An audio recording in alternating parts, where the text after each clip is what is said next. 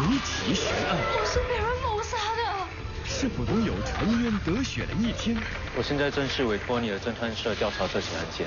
日新月异的科技是否能解开重重的疑点？这到底怎么回事？事隔多年，真凶是否能绳之以法？那如果真相是你不能够接受的，你还想知道吗？我恨你们！侦探，四月二十八号起，周一至五晚上九点八频道。